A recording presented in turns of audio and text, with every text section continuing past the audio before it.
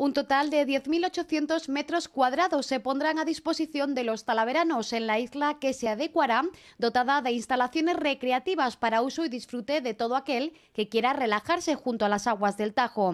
A esta isla se accederá a través de una pasarela que también será construida. El río Tajo eh, en Talavera siempre ha sido pues, eh, el, espejo de la ciudad y lo que queremos es precisamente que la ciudad vuelva a mirar al río y se sienta orgulloso del mismo para el uso y disfrute de todos sus vecinos. Esta playa de los Arenales se encuentra en el proyecto de recuperación del entorno medioambiental del Tajo a su paso por Talavera. Era muy esperado por los vecinos de la ciudad.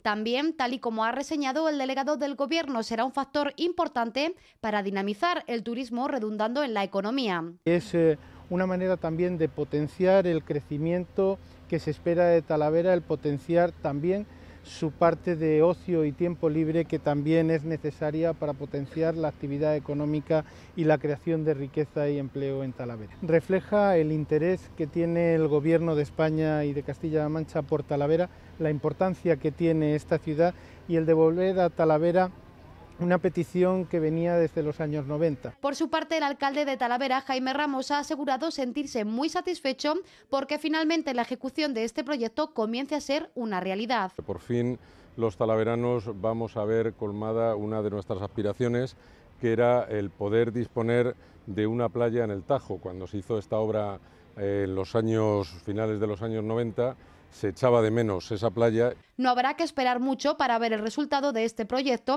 que se estima puede estar acabado en febrero del próximo año.